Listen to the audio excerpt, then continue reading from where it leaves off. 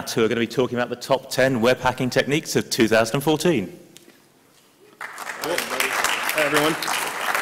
So, uh, how many of you have seen a version of this talk before? Top 10 web hacks of previous years. A few of you. You don't count. You work with us. So. Okay, cool. So, uh, for those of you who don't know either of us, we, uh, I'm Matt Johansen, and can you guys hear me? Is my mic on? Yeah, we're good. Um, so, uh, I'm Matt Johansen. I'm uh, Director of Security Services over at White Hat Security. I'm Johnathan. I'm a manager for the Threat Research Center. I head up our EU operations in the UK. So he had a shorter flight, so he's going to be more lively because I'm jet lagged.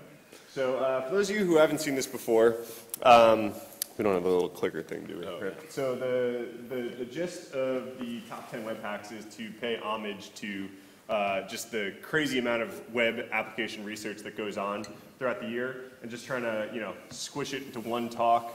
Uh, most of these things that are on our, on our list are, have their own hour-long talk. Uh, is anyone in this room that has something on this list that they know about? Because I know some of you, some of the people on this list are from the EU, so I haven't met them before. No? Okay, cool. Well, if you see your name and you don't know that you're on this list, throw something so I can like bow you or something, because we're gonna, you know, talk about your research. So, uh, yeah, we've been doing this every year for about uh, nine years or so. So. Um, this is the kind of the, the lay of the land uh, for uh, the top 10 for a very long time. So how this works is we take uh, submissions from the community for you know best new research techniques of the year, right? Uh, just open blog post, and we get you know anywhere from we had a low year last year, but uh, anywhere from like 30 to 80, as you can see, total submissions. Uh, and then what happens then is there's a community vote that uh, narrows that down to a top 15. And then we take that top 15 to a panel of security experts, like Troy, who was just did, doing the keynote, was on our panel this year. Uh, and uh, that panel of expert narrows that 15 down to a list of top 10 and helps us order them and, and uh, so on and so forth, right? So we can see, you guys probably recognize some of these names of uh, attack web app techniques uh, over the past couple years. And uh, we see slowly encryption taking over the king slot every year, right? With you know padding Oracle, which was then of course similar technique used in Beast and Crime. Uh, and then last year, Mutation XSS uh, took over top slot for, by Mario, who's going to talk later today. Uh, and yeah, so XSS took top slot again, but three of the top five were still encryption related, so people still really like encryption. Um, so without further ado, I guess, microphone's off. it's in here. On. Better? Oh, okay, cool. Sorry. Uh, so, uh, without further ado, I guess, right? Here's the uh, the top 10 of this year, right? So, encryption is king again, right? I don't think any of us are surprised that Heartbleed uh, took number one here, as uh, it was probably the most echo chamber escaping web app thing to happen in the last decade, right? You know, you know it's bad when like your parents are calling you and saying, "Hey, should I be worried about this? I saw it on the news." Right? That's that's how you know. Okay, something serious went on. Right? And so basically, what we're going to do is we, we have nowhere near enough time uh, in 45 minutes to talk about uh, all 10 of these. So we're going to kind of give you the run, just the fly through of uh, 10 through 6, and then we're going to kind of deep dive into the top five a little bit more. Right? Cool. So starting with number 10, we have covert timing channels. Now, covert timing channel is essentially a side channel attack, or a timing attack where the measuring of how long it takes a system to process instructions may provide a malicious user with some privileged information.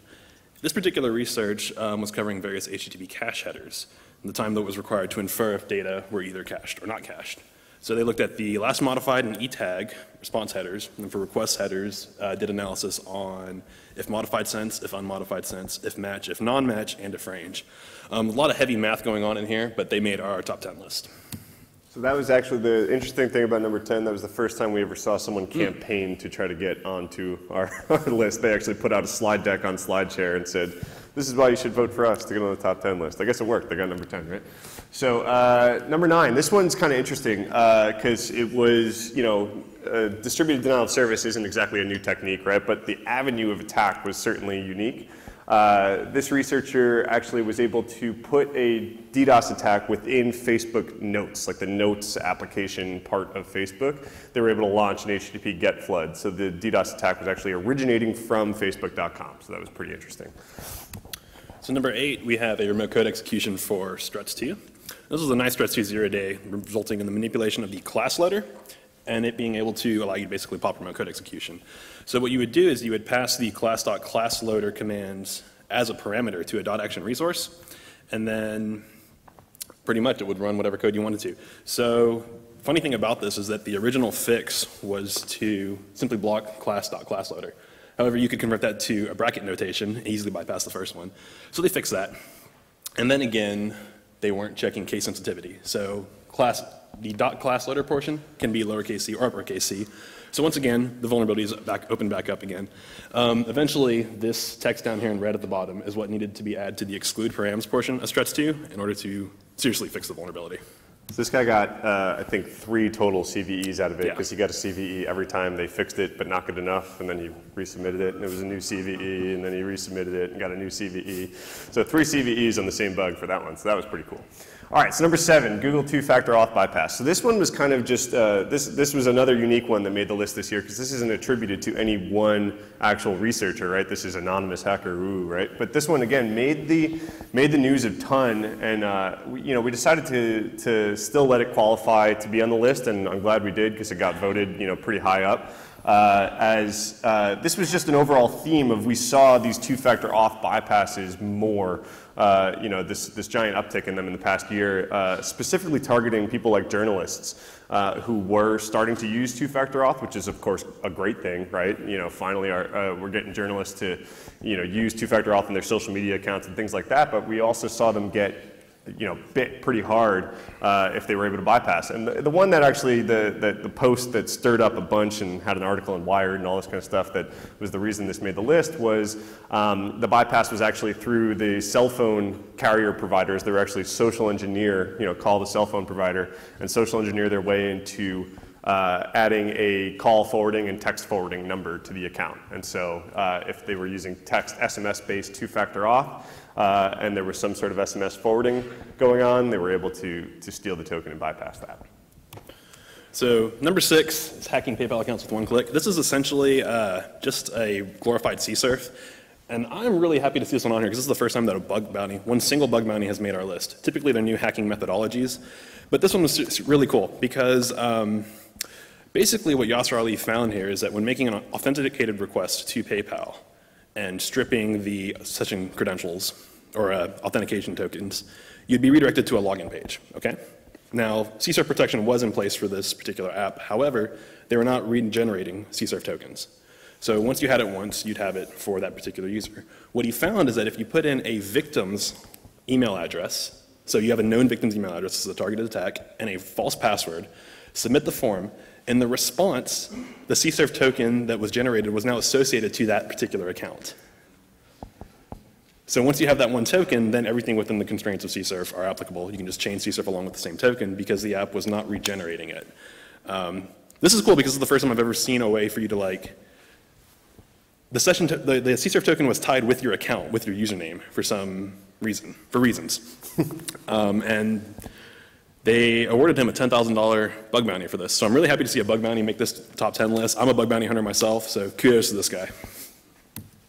Yeah, that, that CSRF token lets you do absolutely anything on that PayPal account, right? So it was, it was pretty bad. Okay, so number five, we're going to get into uh, deep dive here. Um, so has, did anyone hear about this one? Did anyone see this talk uh, last year, this misfortune cookie research? This was some of the coolest research. This is probably my favorite one on the list, so even though it's not number one, this, is, uh, this one's close to my heart. So uh, these researchers were able to uh, actually attack residential gateway routers uh, with a single HTTP request. And the way that they went about it is really cool. If you're interested, I'm going to give you a rundown. If you're interested, go watch the full talk. It's one of the best talks that I saw last year. Um, oh, you already did. Sorry. So uh, the, just a little bit of background of what you need to know to actually understand this attack. These are things that I didn't really have a full grasp on. uh, at all. So how many of you have heard of this TR69? This was new to me. Yeah, it's new to most of you too, a few of you. Okay, so uh, what this is, this came out, this, uh, th this is the uh, protocol that's used, or the, you know, the, uh, which it came out in like 2004. And, and really what this uh, is, is the, it's also known as the CPE WAN Management Protocol, right? So CPE is Consumer Premises Equipment, right? So this is how your internet service providers are uh, accessing your home routers and then doing something, right? You ever call your ISP and say, hey, something's not working, and then all of a sudden they send some sort of reset code and you know, it power cycles your device at home. This is the protocol that's being used there, right? So these researchers looked at that and said, hey, that seems that seems pretty powerful, right? There, there, there's a lot of power going on that the ISP has to control your device on your prem, right? So what's going on here? And so what is going on is there's uh, this auto configuration server, this ACS server uh, that the ISPs use to have some semblance of you know dual authentication, meaning you know the ISP knows that you're actually the consumer that it's trying to talk to, and the consumer knows that you're actually the ISP that it's trying to talk to, and there's some you know some back and forth communication there. Um, but like I said, this was written in 2004, and uh, this protocol actually just uses uh, SOAP RPC, uh, which is just XML over HTTP, right? So, uh, you know, this is a web hacker's dream, right? Okay, cool. So it's using HTTP. It's got control over the home router. Uh, okay, and this ACS is the all-powerful device that we're going to be worried about, right? So they looked at this, said, that's a single point of failure. I'm going to focus on this to, to do my research, right? So they did a little bit of digging, and uh, they, they noticed that this protocol uses port uh, 7547. Uh, and doing some more digging and uh, looking at some research from, I think this is University of Michigan, uh, when they scan the entire internet. Uh, this port is actually the second most common port open on the entire internet, besides, of course, 80, right? And so, you know, okay, this is widely prevalent. Uh, there's you know a single point of failure. Again, this this dream just keeps getting better, right? Um, so uh, yeah, this was this was a scan of about 2.1 uh, million devices. And so they said, okay, if we extrapolate this over across you know this number, if we can assume this is correct for the entire internet. Um, uh, they actually didn't have to assume because Rapid7 actually did a scan of the entire internet uh, later after they started their research, and the number was actually worse than this. It was 1.18%. So uh, 46 million IoT devices had this port open, okay? So what's on this port? What's running on this port? So this is a breakdown of the technologies running on this open port that is open on you know, 1.18% of the entire internet. Uh, and so, again, as, as researchers, what are you going to hone in on? Uh, the big chunk of the pie over there, uh, ROM pager. So 52% of these open ports were running ROM pager uh, dug a little bit deeper, said, okay, what versions of ROMPager are there? What, you know, what kind of versions of this code do I need to hack on in order, to, if I want to take advantage of some of this software? Turns out that 98 plus percent of the ROMPager versions that were out there were all running the same version. Anyone want to take a guess at what year that version was written? Oh wow, no. that'd be that'd be scary of 1990. Uh, no, it was actually 2002. Uh, so, you know, really up to date version of the software. It was roughly seven versions behind, uh, and it was you know 98% of that 52% of 1% of the internet, right, if you wanted to do the percentages back. So it's a ton of devices um, running the same version that's an old version of ROM Pager. So let's get to the hacker ready, right? So that's kind of the breakdown of what's going on. Why do we care? So uh, this ROM pager version, uh, you know, on router firmware, uh, these researchers decided, hey, let's fuzz this stuff, this specific version, because it's everywhere, right? Uh, and pretty quickly, they were able to crash the router, right? They, uh, with some HTTP header fuzzing, they added the authorization header, uh, you know, qu a quick digest username parameter in 600 A's, and the router crashed. The problem was there was no debug interface for this router whatsoever, so they couldn't really get a core dump and kind of you know do all the cool things necessary to figure out what kind of overflow situation they had, right? But uh, for those of you familiar with this kind of research, this is the, the bit of code that was vulnerable there, this unprotected string copy. Um, so I just wanted to include that there real quick. So uh, this is this is probably the coolest part of this talk uh, that, that these guys gave. Um, since there was no debugger available, that they couldn't get the core dump and couldn't figure out what they did to crash the router, they actually opened up the router and soldered into the motherboard and then wrote their own debugger, which is the most hackery thing I've ever heard of, which is awesome. Uh, and then uh, on, to make it even more awesome, they named it Zordon for any of you Power Ranger fans. Uh, it, it's a forced acronym. I can't remember what it stands for, but it is called Zordon. So, um, so this is what the output of their debugger once they crash the router. This is what it looked like. Uh, and you know, you could see an instruction pointer up at the top, and they were like, okay, we need to overwrite the instruction pointer and do some nasty stuff to this router. Um, the problem was this wasn't reliably uh, exploitable over the internet because even though it was the same version of ROM pager that was so prevalent, uh, the memory stacks, depending on which firmware was using, uh, which device it was using, uh, was a little bit different. So you couldn't reliably exploit this you know, this exact point in memory that you would need. So they had to take it a little bit further. Uh, well, ROM Pager happens to use cookies, um, you know, for infinite valuable reasons, right? So, but the, the way that their, their cookies are laid out uh, is, is pretty interesting. So they have a pre-allocated, you know, namespace, and it's really just C0, C1, C2, whatever. Uh, and that array is actually pre-allocated in memory. So now across devices, they don't need to worry about the different memory stack because this, this array of cookies is pre-allocated, so they know exactly where it goes. Uh, in the infinite wisdom of ROM Pager, the, the, the pointer in memory that was, was used was just strip the C off of the cookie. so if you have cookie zero, that was the pointer, zero, right? Cool. Uh, so that made it infinitely easy for these guys to to just uh, you know, write some malicious cookies and completely just uh, remote code execution on all these routers. So here's a screenshot on the bottom of just a benign example, right? So if you just change the name of the cookie to C and then whatever you want the instruction pointer to be, um, that instruction pointer just changes the path into, oh my god, lead hacks, right? Because that's what you change paths to when you're trying to POC something. And it would just redirect the, the, the browser to this you know, this slash whatever, right? So this was the only uh, instruction pointer that they actually put in their talk, um, I think because the other ones are too scary. Um, on stage, they, they didn't show the actual array of cookies that they used, but uh, just with setting, I think it was three cookies, they were able to completely bypass authentication of the router, they could flash the firmware if they wanted. They could do whatever the heck they wanted, right? So again, this is for residential gateway routers. So this owned all the computers behind, uh, you know, an entire neighborhood. Uh, I think there was 189 countries, and in some countries, over half of the IP addresses were vulnerable to this. So it was not a small bug. Um, and this is usually the slide where I say, and here's the warm and fuzzy part of why you shouldn't be worried, but this one, I don't have a warm and fuzzy, I'm sorry.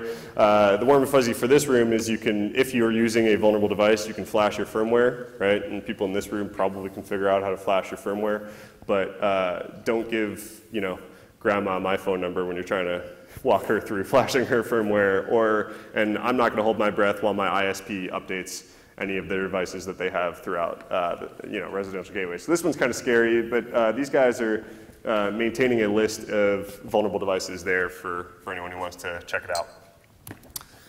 Okay, so moving on to number four, we have the Rosetta Flash tool. Now, this made a lot of headlines last year. Is anyone familiar with this by any chance? Or heard of Rosetta Flash? A couple people? Cool. Is he in the room? Yeah. Oh, everyone, give this guy a round of applause. This is freaking awesome. It's fantastic. So he's got a much more in-depth talk about this. I believe it's at 15:30 today. Yeah, so definitely go to him for the deep dive. We're not going to do it justice by just skimming over it. Um, Congrats. Yeah. That being said, uh, so what this is is this is a tool that he created to convert a binary SWF into a non-alphanumeric SWF that can then be executed on a target domain site. It's using JSON-P. So just like we said right there, we'll have we some stole all binary graphics, sorry. Yeah, this is all, all credit to him, by the way. uh, so you have some binary SWF. Everyone's seen this like binary garbage before. And his tool essentially uses Huffman coding to act as a Rosetta Stone to translate that information into readable alphanumeric text. This is awesome because of JSON-P. So how many hackers have been like hacking around and then you see a JSON-P response come back with a callback? Yeah, we see it all over the place. So JSON-P accepts, ex, accepts a callback parameter of values uppercase A through Z, lowercase a through Z, uh, an underscore, and a period. So although there's a little bit of input, input validation in place, you can't pass it a binary input because obviously it's not going to work. But if we take the SWF file and then convert it to just alphanumerics with those allowed character sets, we can force JSONP to execute the SWF as if it's hosted on a target domain. Now, just a couple of sites were using this, or are using this. Google, Yahoo, LinkedIn, Twitter, GitHub, you know. And when we say Google, it's not like some third-party acquisition that was acquired two months ago. It's www.google, accounts.google, maps.google, like all, all the juicy stuff. So here we have just a brief overview again of the research he's going to go into later. Um, just a binary breakdown of normal SWF header. Now here we've got uncompressed SWFs, zlib compressed, and LZMA compressed SWFs. Now, for the purpose of this research, we're just going to focus, focus on the zlib compressed header. And this is due to the fact that he was able to brute force the Adler32 checksum at the end of the data that verifies the integrity of that zlib data section. See, all of them start with a magic byte to determine which version it is, then a version, file length, and then break up uh, depending on which type of compression or no compression is used after that. So Rosetta Flash is going to use an ad hoc Huffman encoders in order to map non-allowed bytes to allowed bytes, because we're going to have a lot more in the character set of binary trash, if you will, than just alphanumerics with those special characters. So we don't have time to go into all the technical details of this, sadly, but the ways of getting valid, valid characters for the first two bytes here, as well as the Adler32 checksum, is kind of involves some deep math that he dives, dives into. 1530. Yeah. so again, uh, this is the proof of concept that he generated. So just some little action script right there on the left. This is how it would convert into um, a non-alphanumeric translation. And then you can exploit that, if we can see this right here. Um, SWF files can be embedded on an attacker-controlled domain using the content type, content type forcing object tag. So you can see that we have vulnerable.com in the um, attribute value for data. And then down there at the bottom, in the param values for flash vars, we have the vulnerable site that we're attacking that uses a JSONP callback, as well as an attacker host or attacker supplied resource, if you will, to log data that might be traveling through it.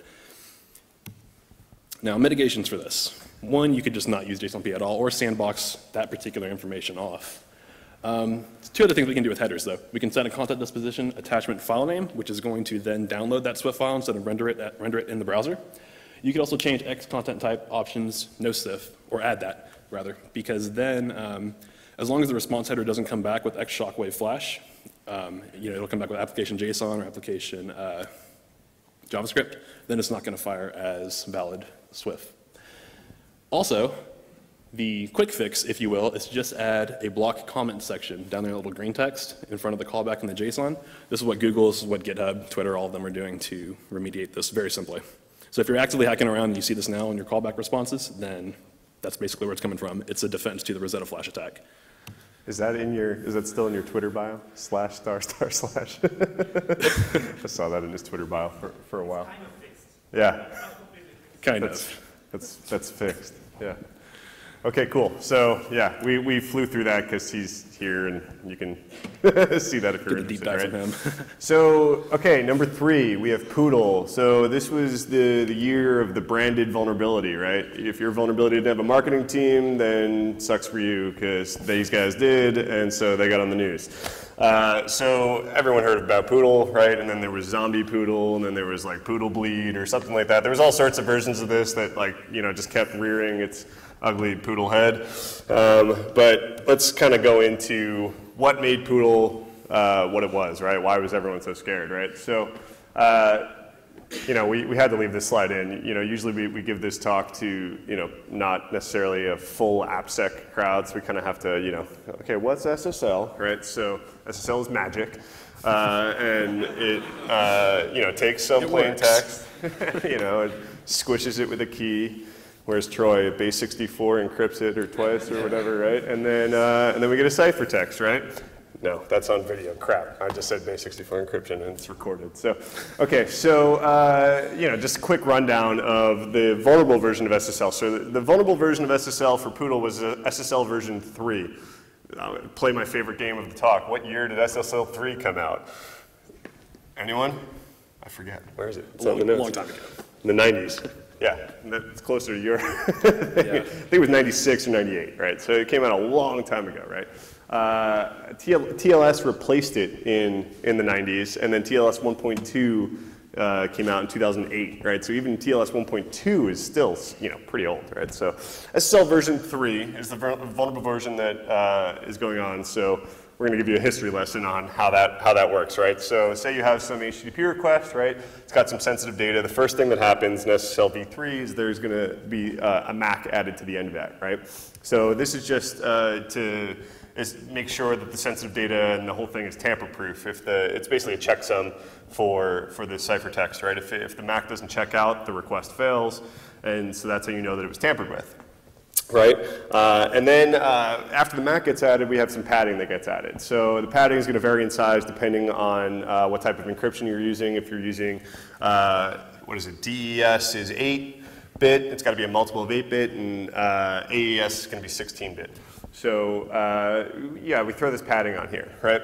Uh, the padding is important for, for this attack. That's kind of why I'm going through this. So the last character of the padding is actually the magic one, right? So the last character of the padding, what that does is actually tell you the size of the padding, right? So that's going to say, okay, how far back do I need to go when I'm decrypting this to get to the MAC, and then I validate the MAC, and then I get to the sensitive data, right?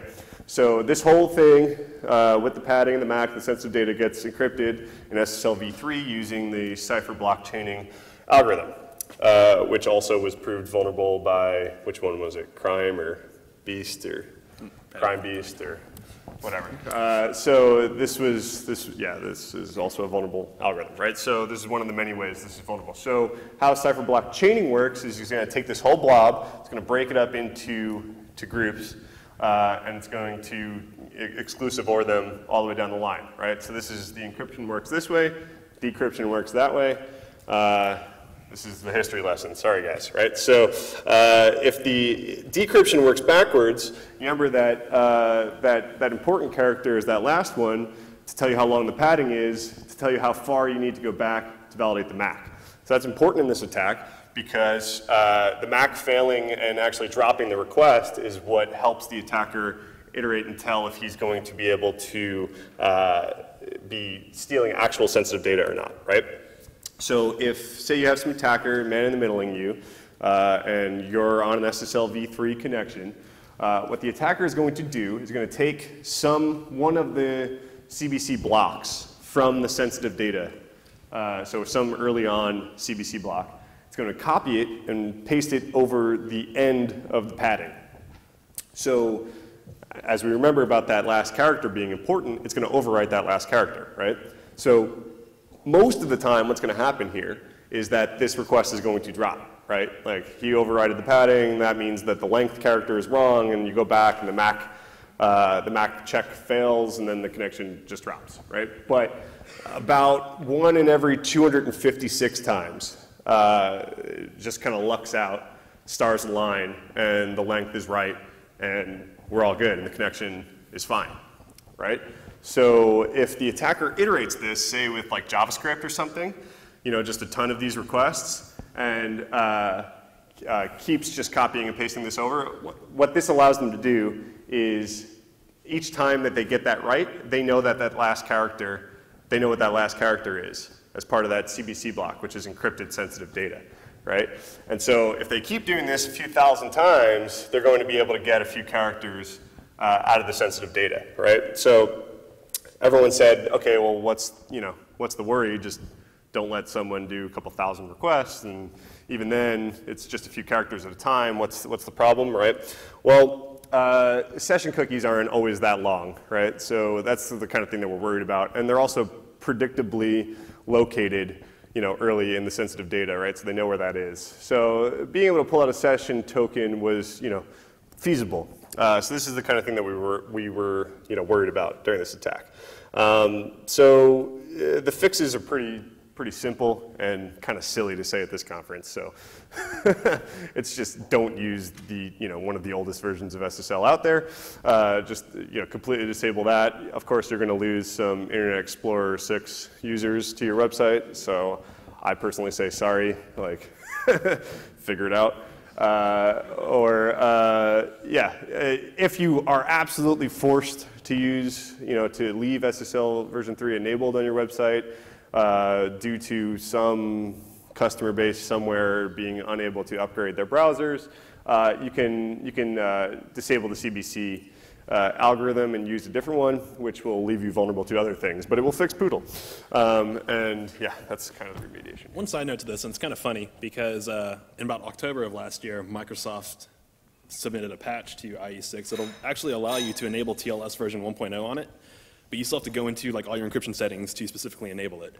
And users that are using IE6 typically don't even care why that's important to use a particular version of TLS. Just If you're, if you're using IE6, you don't yeah, know where the settings are. about than encryption. So number two, we're moving on to shell shock, or what's also known as bash door. So like you said, you know, this is the year of branded vulnerabilities.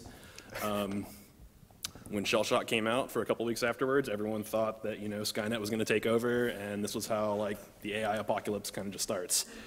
The Ninja Turtle apocalypse, right? Yeah. so it's extremely, extremely easy to exploit. It's like on a scale of 1 to 10, 10 being the easiest, it's a 10 on ease to exploit. The severity of it is also a 10 because remote code execution. Um, one can argue that exploiting this is probably easier to do than explaining it to someone. It's, it's that, that awesome. Because from a single request, a single unauthenticated request over the web, remotely, you're rewarded back with a shell, which as we all know is game over. So just to go into a little quick example of when this first came out, Errata Rob uh, is a great guy to follow on Twitter. He did a lot of deep diving into this as soon as it came out. He's got this open source tool called Masscan, which people may or may not use for good or nefarious purposes. And so all he did here was select a target IP range to scan the internet with uh, whatever ports. And in his user agent, cookies, host, referrer headers, and the request headers, um, he just submitted an object reference, which we'll go into later, and then a ping command to ping back to him. So what would you expect to see if you scan the internet with all this information and the shell shock bug was active? They're going to call home. They're going to ping you back. Now, although that's not really a- a hack, if you will, I mean, yeah, it is, but look at all these addresses that were pinging him back. And this is just from a quick, a quick scan. Like this could probably happen within like the first 30 seconds of scanning.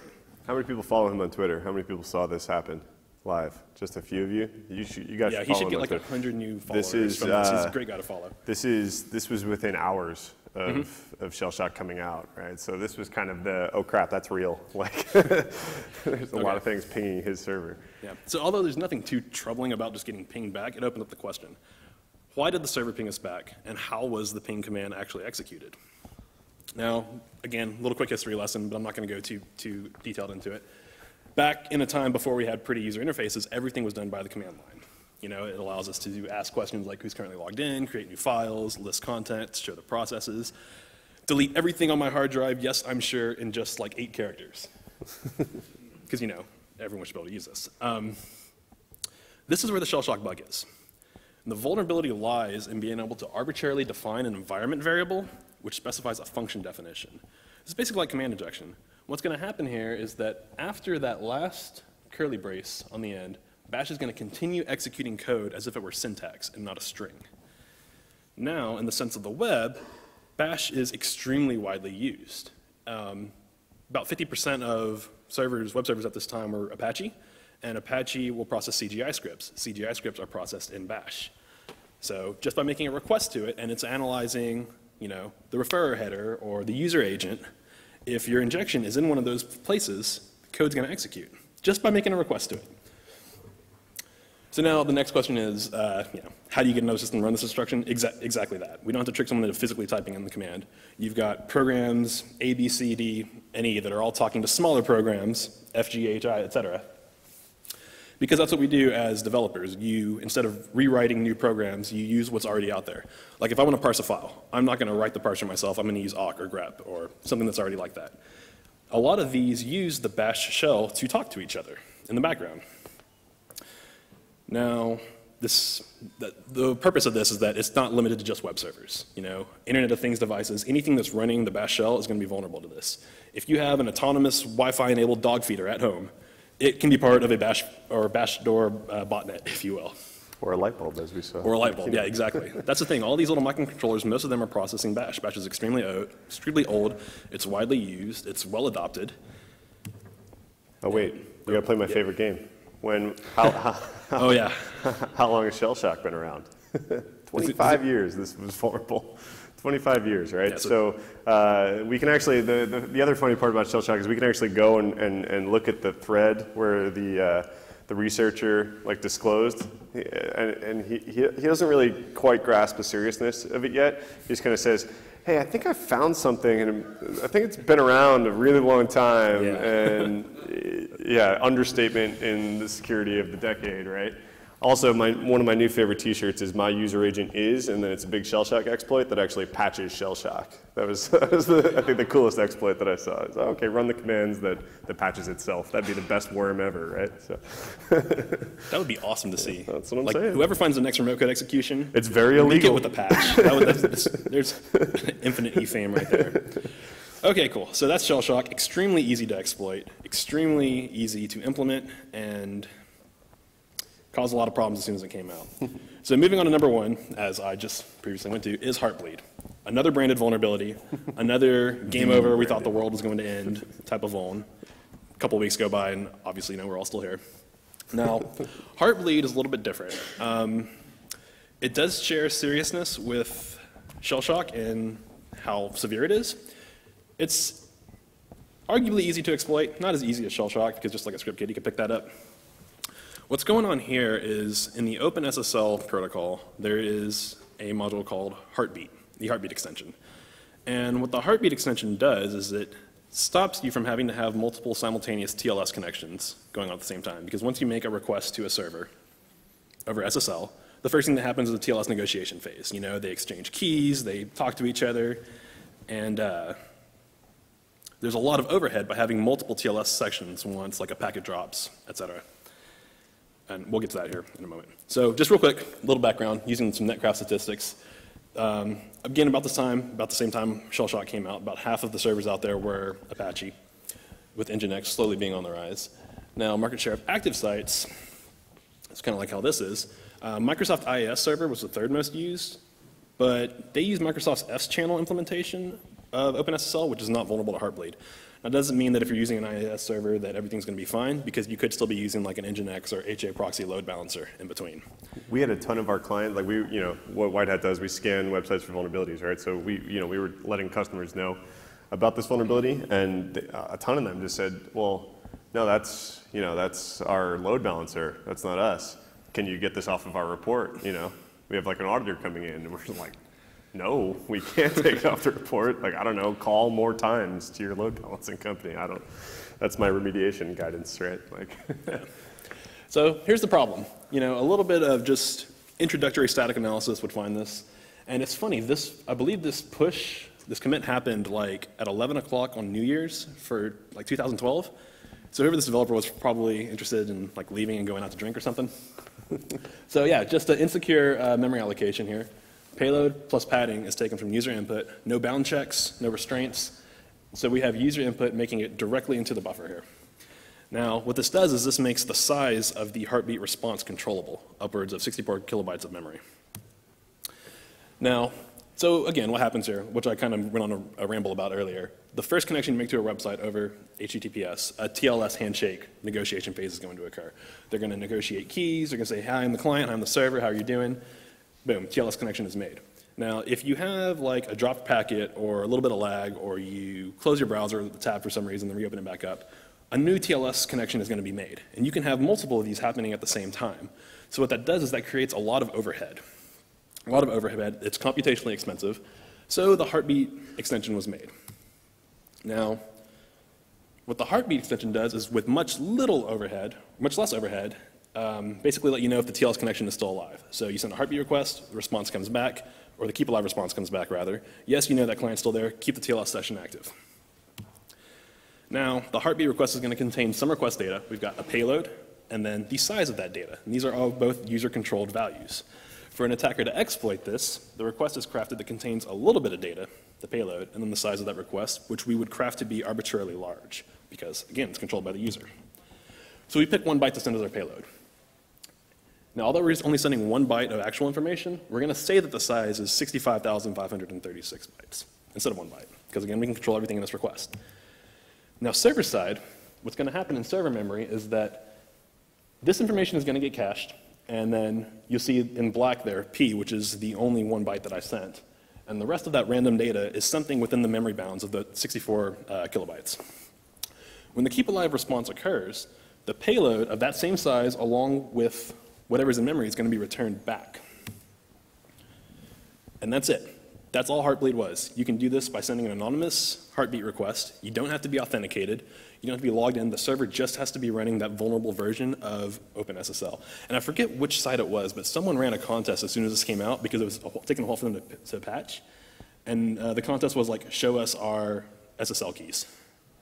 And I forget who got it, but um, it only took him maybe like four or five hours. It was still billions of requests. It was a, it was a ton of requests because you're going to get a random arbitrary piece in memory here. And that's going to contain all kinds of stuff. It can contain user submitted data, validated tokens, cookies, passwords, credit card information, anything that's in like a, a, normal post request could be cached in memory. And because this kind of picks a random data, you just send the same request over and over again. You get back this 64 kilobytes worth of information, and then it's just like a puzzle. You just piece them all together. More importantly, you can get the keys to encrypt and decrypt traffic from the server. So if you happen to be logging information, you can go back and then use those keys to de decrypt it if perfect forward secrecy is not enabled. Now, although that is a protection baked into SSL, not everyone uses it. And that's it. That was our Heartbleed. So, uh, you know, one, before we get to our lessons learned here, the you know Heartbleed also the reason it's number one is that uh, it you know it's now the barometer, right? It's like the is it as bad as Heartbleed, right? We just saw something come out yesterday. I, what, what was the name of this thing? It was like two days ago.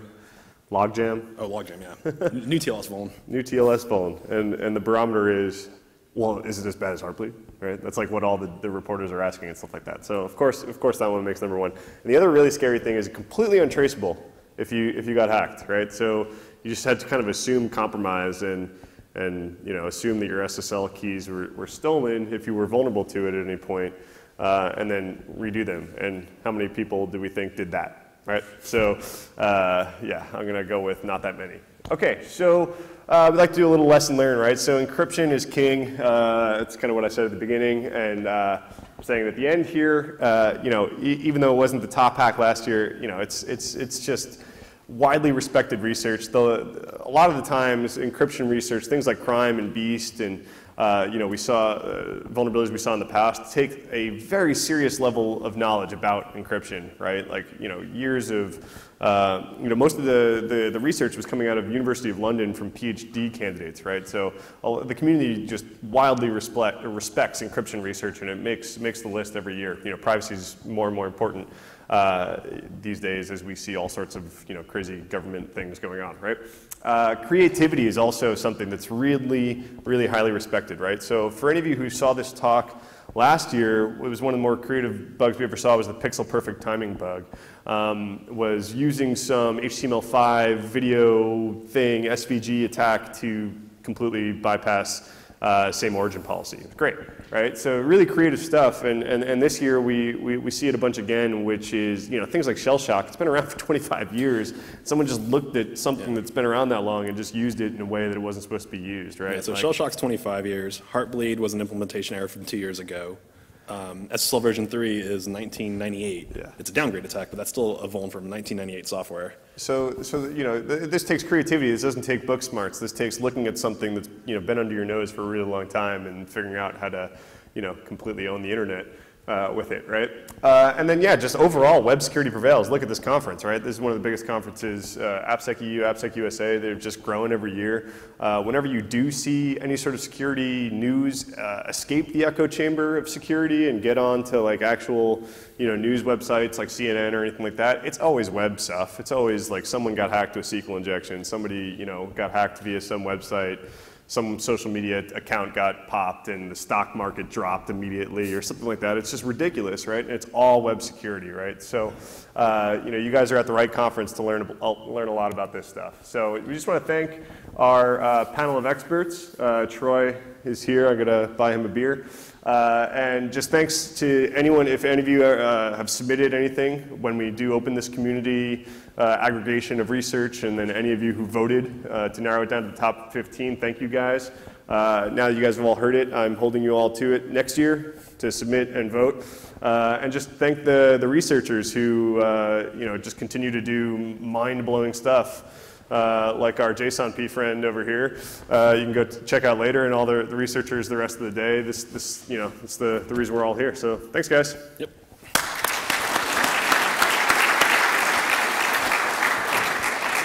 We don't have time for Q and A because we're running a little late. So we'll be around the conference the next two days. So just track us down. Yep.